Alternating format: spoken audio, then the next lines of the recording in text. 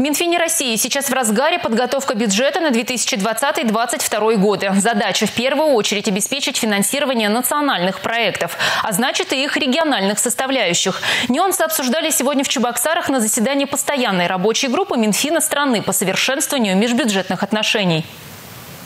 Одна из главных целей национальных проектов – повышение уровня жизни населения. Достигать этого планируется с помощью различных программ и подпрограмм. К примеру, такой вид поддержки, как социальный контракт, когда членам нуждающейся семьи помогают найти работу, создать собственное дело или выделяют средства на организацию подсобного хозяйства, теперь будут финансировать на уровне федерации. На следующий год выбрано 13 пилотных регионов. Однако нужно предусмотреть ряд нюансов, чтобы такая помощь была эффективной. И корова, которую купили для обеспечения семьи молочными продуктами, не пошла на мясо или продажу, отметила заместитель губернатора Томской области. Социальный контракт, он предусматривает прежде всего развитие, ну, если так уж формально сказать, э, производственного потенциала семейного хозяйства. То есть это не просто вот э, дали, чтобы он хлеб купил там или там одежду или еще что-то, а чтобы он мотоблок купил, корову купил, там птиц там или я не знаю, что там отремонтировал стайку. Вот этот контракт очень, на наш взгляд, эффективен.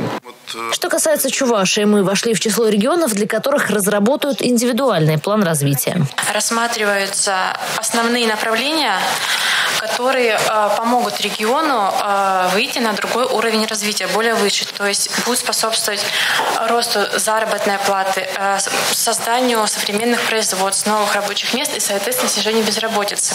При этом учтут развитую аграрную специализацию и другие особенности региона. Вообще, в условиях нацпроектов специалисты Минфина страны теперь мыслят периодами не в три года, а сразу в шесть, рассказала председателю Кабинета министров Чуваши Ивану Моторину директор Департамента межбюджетных отношений Минфина России Лариса Ерошкина. Что касается сбалансированности бюджета на местах, Чуваша есть чем гордиться. Подвели итоги качества управления финансов за прошлый год. И республика вошла, вот просто даже представить себе эти цифры. Мы анализировали 16, 17, 18 год. У нас только 8 субъектов, которые э, в течение этих трех лет занимали первый, э, первый степень качества управления финансами. В том числе мне отрадно сказать, что, да, что вы входите в эту прекрасную группу. В заседании рабочей группы участвовали руководители финансовых служб Томской, Ростовской, Вологодской, Волгоградской областей, Ставропольского края и города Севастополя. Ольга Пырочкина, Андрей Спиридонов. Республика.